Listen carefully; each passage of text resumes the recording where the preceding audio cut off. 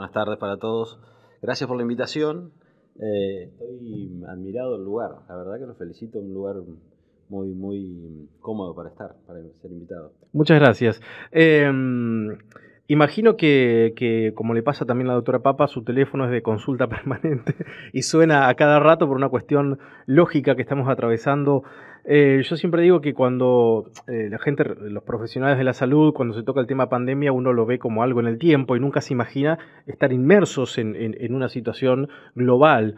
Eh, y bueno, esta vez le tocó, como, como director del hospital, este, enfrentar este, este proceso, ¿no? Sí, sí, el teléfono, el de Vanessa debe sonar mucho más que el mío, por, una cuestión de cargos. Yo estoy más abocado al hospital. la doctora Papa está más con todo a cargo, ¿no? Se ha puesto al hombro para mí en una forma muy eh, genial como es ella de hacer todo y tener todo controlado y digitado perfectamente. Colaboramos desde el área que nos toca. Eh, es real que es un año difícil para todos, ¿no? Fue, es todo nuevo para todo el mundo. Bueno, el personal del cual sos parte. Eh, están todos, y desde el día uno, todos con la camiseta puesta, eh, dejando de lado un montón de otras cosas para, para bueno, en beneficio de la, de la salud pública, ¿no? Pero ha sido un año, está siendo un año eh, complicado para, para todos, ha generado todo esto, sobre todo el tema de la cuarentena y los comités de crisis y demás, un montón de reclamos, muchos entendibles y otros no tanto, algunos puedo compartir, otros no, pero se respetan todas las opiniones nos toca un lugar de decisión y como tal tenemos que ser responsables con la mayoría de la población. Sin dudas. Una de las cosas que motivó esta, esta, esta entrevista, em, que bueno, en tiempos de crisis donde la salud está en, el foco del huracán, por decirlo de alguna manera, Em, una serie de agradecimientos y reconocimientos y me pareció, nos parecía en realidad al equipo de producción digno de, destacar porque en medio de, una situación difícil la gente sale a agradecer el trabajo, ¿no? Y esto, esto, esto es bueno. Sí, sí, reconforta, ¿no? En general estamos eh, acostumbrados a, a, recibir este mimo, ¿no? Esta caricia de la gente en general de, bueno, agradecimiento en general. y bueno, como en todos lados, seguramente haya alguien que no esté conforme y lo hacen saber también. Y todo sirve para, para, seguir mejorando y perfeccionándonos en la, en la parte, digamos, de gestión y de, y de accionar médico. Eh, vos, sabés bien cómo estoy comprometido con, con, la gestión y con la profesión sobre todo. No, no me puedo deshacer de mi parte médica, ¿no? Al contrario, estoy, creo que estoy cada vez más comprometido con, con la parte asistencial. Eh, hoy estuve operando hasta hace un rato, con el doctor Altave estuvimos hoy como todos los jueves. Em, y bueno, en general, eh, todas las palabras, la mayoría de la, gente ¿no? Ha, reconocido este esfuerzo que estamos haciendo y que está dando los frutos con ningún caso positivo hasta ahora de, COVID.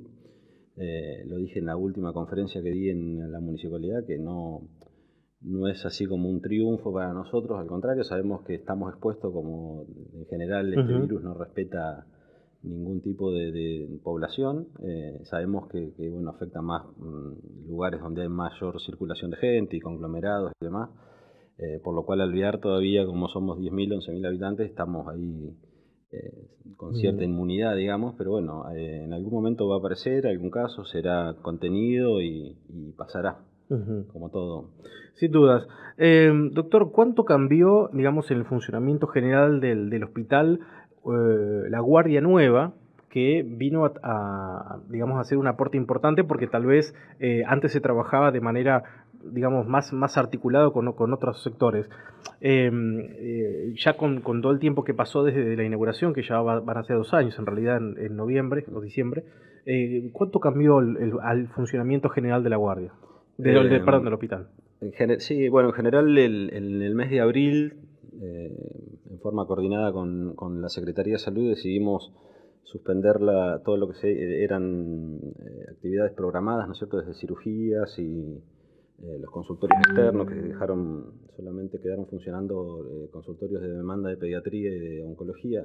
Se restringió mucho la, los turnos de, enfermería, en general los turnos del laboratorio, de radiología, eh, y fuimos viendo y actuando semana a semana y mes a mes hasta el día de hoy, donde el hospital ya está eh, funcionando casi al 100%, diría. Seguimos con la restricción del personal porque estamos cada vez que, que hay algún caso sospechoso y la idea es eh, que el personal haya estado en menor contacto posible para no tener que aislar gente y tener que, bueno, disponer del personal, ¿no? Estamos, si no, nos pasó con el primer caso, eh, que fue un aprendizaje importante para todos, donde tuvimos que aislarnos casi 20 personas del hospital, que para un hospital como el local eh, eran bastantes. Eso nos sirvió como un como para aprender de esto que te contaba, de, restringir los turnos de enfermería, por ejemplo, y que en vez de haber cuatro enfermeras eh, estuviesen dos y otras dos al teléfono, por si una especie de guardia pasiva. Eh, todo en general, todos respondieron perfectamente y la verdad que tengo que agradecer al personal por la forma que se han manejado y que se siguen manejando hasta ahora. Eh, siguiendo con, con, digamos, con con todo lo que tiene que ver con las distintas áreas, porque el hospital ahora es como que ya empieza a tener su, área específica. Está pronto a inaugurarse un área que, es muy requerida y que tal vez este, en este tiempo, en otro, digamos, en, la vida cotidiana, era muy requerida, que el sector de pediatría está próximo a inaugurarse. y imagino que eso también va a cambiar bastante la dinámica de la atención específica, ¿no? Sí, bueno, eh, todo eso fue eh, ideado en conjunto conmigo, ¿no es cierto? Eh, pensado con la gente de la cooperadora, que están todas las colectas que hicieron el año pasado, este año por la pandemia no pudieron hacer lotería, ni la rifa anual y demás. Hay, hay particulares que siguen apoyando y donando con, con, dinero. Eh, pero fue todo una impulsado por mí, obviamente coordinado con ellos, pero eh, se diseñó todo con una arquitecta sanitarista, la doctora, la arquitecta Sanz, Alejandra Sanz, en coordinación con Obras Públicas y la arquitecta Alberti de acá de Alvear. Eh, se idearon y diseñaron cinco habitaciones, de las cuales tres ya están próximas a inaugurar y una cuarta están también eh, finalizando. Em, y ya para, para, utilizar en breve. Em, ahora con motivo de los 100 años del hospital, que van a ser el 29 de agosto, si no me equivoco, eh, teníamos ganas de hacer una inauguración, digamos, virtual, por alguna forma decirlo, porque no se pueden hacer actos, no se puede hacer nada, eh, y bueno, gracias a Dios y, todo lo que era la internación pediátrica los años anteriores, este, este año, motivado por el aislamiento y la cuarentena y demás, y que no hay clases, no hay guarderías y demás, no hubo hasta ahora internaciones importantes en pediatría, casi que podría contarlos con las manos, con los dedos de una mano, no, no, hemos tenido... Em, internaciones pediátricas por cuadros eh, respiratorios. Eh, han sido muy, muy puntuales y, hemos, y, han salido rápido, gracias a Dios.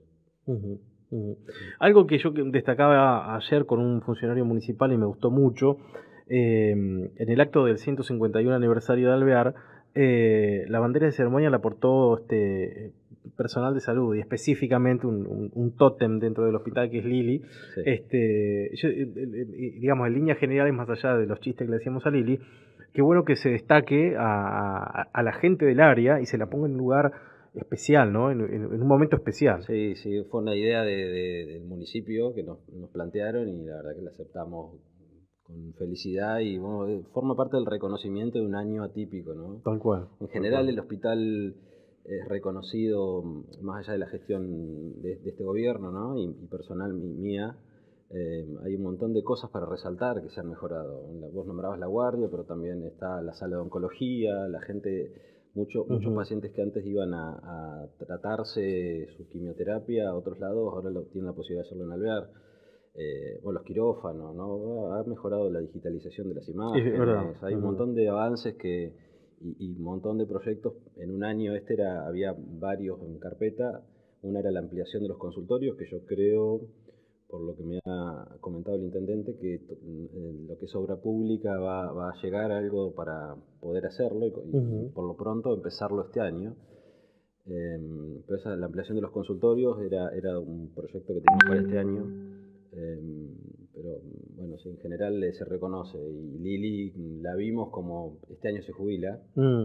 o tiene ya los años de aporte y los años de edad para, para hacerlo. No sé si las gana, pero... Hay que ver, sí. No sé, no, me parece que no está muy convencida, pero em, me pareció que era también consensuado con la jefa de personal y con la jefa de enfermería. Eh, creímos que era la persona por el año y por además eh, una, persona que adoramos. Totalmente, totalmente. Linda por donde se la mire, buena compañera, colabora, bueno, está siempre presente y creo que representó al hospital eh, en el año difícil que estamos atravesando y, la, homenajearon con la bandera argentina, nada más ni nada menos. Sí, que, no es poco, no es mm, poco. Hablemos un poco, eh, no sé si, sería futurología, pero ¿qué, cosas serían necesarias para, digamos, el hospital en líneas generales pasar al siguiente nivel? ¿no? Uno siempre desea decir, bueno, eh, se logró hasta acá, pero imagino que en algún momento pensará en decir, bueno, me gustaría dar un salto más y, lograr otro nivel de complejidad. Mm, eh, a, cuánto, a, ver, en cuanto a, los números no es el momento, pero ¿qué, eh, haría falta para ese siguiente eh, escalón? A ver, a mí me encantaría tener un tomógrafo en Alvear, en el hospital, hemos hecho mm, y hablado mucho con el doctor Federici, que sabemos que tiene un tomógrafo acá en, en, su, en su local en Alvear.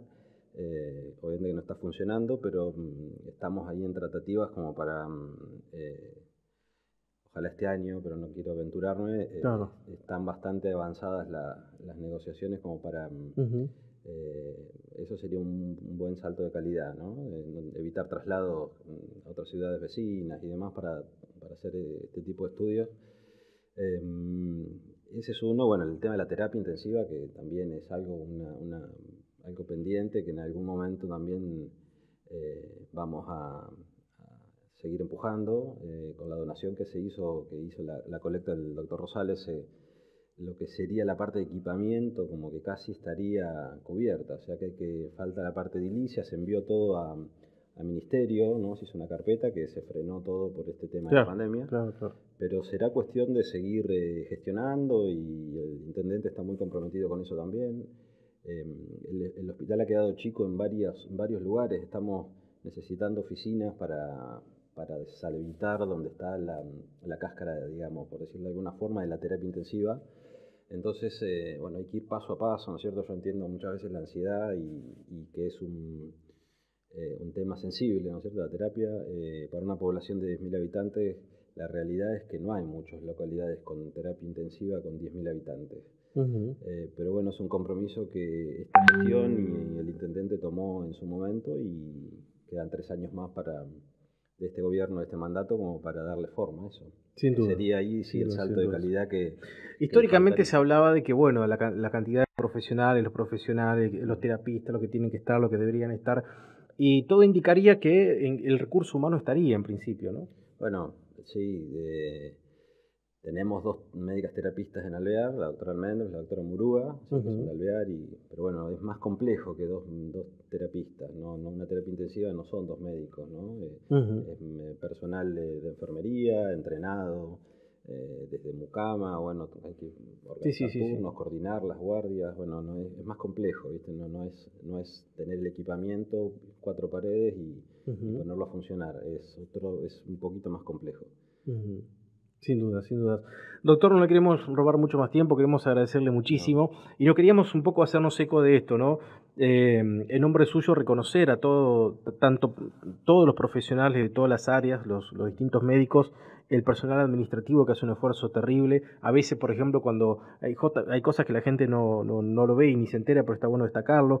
Cuando se inicia el trámite de una derivación, mm. el personal administrativo está, llaman, eh, no miden horas, están, este, y reconocer a todo el equipo me parecía importante en, la, en la, figura suya, por eso insistimos en esta posibilidad de, son, charlar. Son los, los invisibles, digamos, ¿no? las caras visibles somos siempre la enfermería, médicos, los que estamos ahí, pero hay un montón de empleados del Mucama, mantenimiento, maestranza, bueno, eh, las chicas de administración, de facturación, estadística, eh, la misma administración que bueno están muy comprometidos eh, eh, servicio social, salud mental, que es un servicio que también nunca dejó de funcionar en, la pandemia. Em, así que en general es un grupo mm, muy, muy diverso, que tienen todos el compromiso y sobre todo en esta época donde, bueno, la, cuestión económica, ¿no? Hay un montón de, cosas que, se pone difícil, eh, más cuando el hospital eh, municipal, ¿no? Y, la coparticipación y los números mm, a veces no cierran del todo, están haciendo malabares, pero en general los empleados han, cobrado el sueldo en tiempo y forma, se pagó el aguinaldo bien, en general Em, pero bueno, sí, hay, hay gente que también es pilar como somos nosotros desde distintos, ¿no? distintas funciones. Y es fundamental la articulación de todas las, de todas las partes. Gracias por este tiempo, doctor no, nada, por favor, gracias. Eh, fue una entrevista medio demorada porque hace rato me querían... Eh, Nunca es tarde cuando la dicha es buena. Tal cual, los, los tiempos, viste, a veces se ponen medio complicados, pero bueno. Comprendemos la situación. Gracias por este tiempo.